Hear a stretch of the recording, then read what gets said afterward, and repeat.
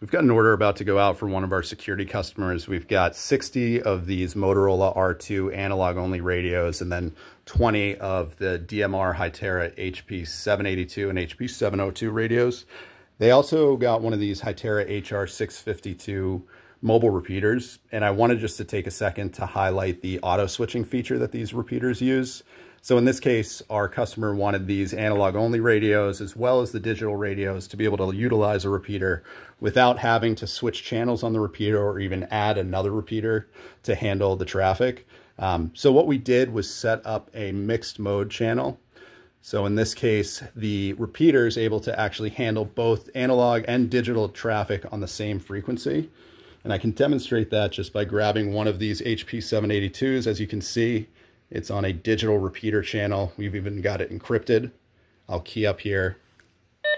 It hits the repeater, comes through on the other end onto this digital handheld. Test, test. test, test. And I can then grab the analog only Motorola R2 and on the same exact frequency that we're using, I'll key up here. You can see you've got the analog channel passing through the repeater test, test, and then coming out the other end on that analog handheld. The nice thing about this feature is that you're not losing any of those digital features like encryption um, or talk groups when utilizing it on the repeater, um, and it still can handle that analog traffic as well. So if you're interested in learning more about the HR652 or any of our handhelds, feel free to drop us a comment.